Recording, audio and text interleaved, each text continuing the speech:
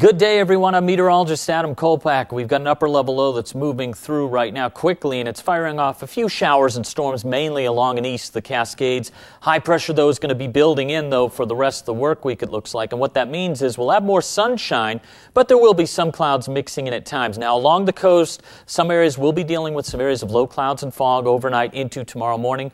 Low temperatures generally in the 40s and 50s.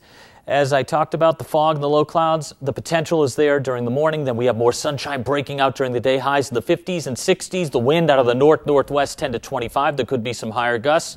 And for the West Valleys, lows will be generally in the 40s and 50s. We may see some areas of smoke in the Illinois Valley, and there's a possibility for a few evening showers or storms, mainly over Northern California. Otherwise, we're going to be dealing with mostly clear skies for the most part. 54 for Medford, Wind out of the north northwest 5 to 15. There could be some higher gusts into the evening, calming down and then kicking up again tomorrow with highs in the 80s to around 90. Again, smoke will be possible around the Illinois Valley. Otherwise, we'll have plenty of sunshine overall. May start out with some low clouds around Roseburg with the high at 80. East of the Cascades, lows in the 30s and 40s.